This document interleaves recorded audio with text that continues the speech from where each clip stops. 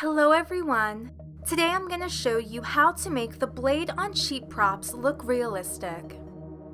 To create the illusion of shiny metal, you will need aluminum foil tape. You can buy it online or find it in the plumbing section of your local hardware store. Cut two strips of tape to fit the length of the blade you're working with. Then carefully cut the tape into smaller pieces.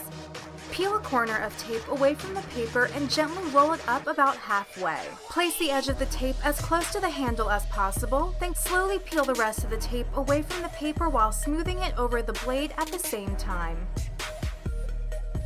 Trim away any excess tape to reduce overlap as you go.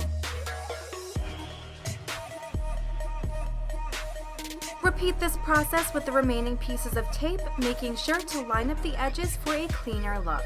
Working with aluminum foil tape can be tricky, so take your time. And if you mess up, simply peel it off and start again. Try not to handle the tape too much once you peel it off the paper. The adhesive is very sticky and the foil is delicate. The slightest bend or crease will be noticeable and hard to remove.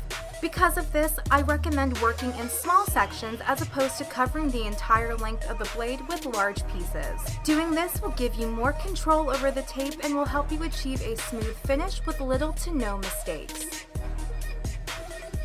The end result may not be perfect, but the overall effect is really nice. Your weapons will look great in person and photographed beautifully. Thank you so much for watching. Please give this video a thumbs up and subscribe to my channel, Tara for your wellness. Stay well.